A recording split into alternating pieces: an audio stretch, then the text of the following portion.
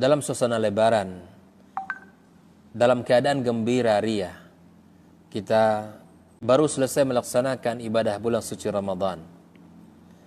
Tapi perlu kita ingat kaum muslimin, kegembiraan kita di dalam Idul Fitri tidaklah harus melanggar syariat yang telah ditetapkan Allah Subhanahu wa taala.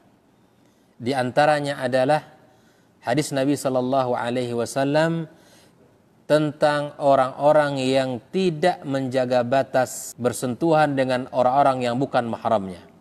Bersalaman dengan orang yang bukan mahramnya. Nabi sallallahu alaihi wasallam bersabda la ayyut'ina fi ra'si rajulin bi miqyatin min hadid khairun lahu min ayamussa ra'atan la tahillu lahu. Ditusuknya kepala seseorang dengan pasak dari besi lebih baik baginya daripada menyentuh wanita yang bukan mahramnya.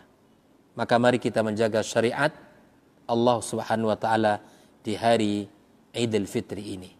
Robbani merajut ilmu dan peradaban.